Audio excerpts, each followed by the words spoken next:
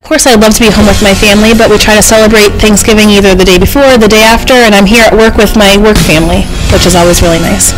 It always feels great to help people um, and try to make our patients have a nice Thanksgiving, try to make it home for them. Happy Thanksgiving from all of us here at Baystate Medical Center.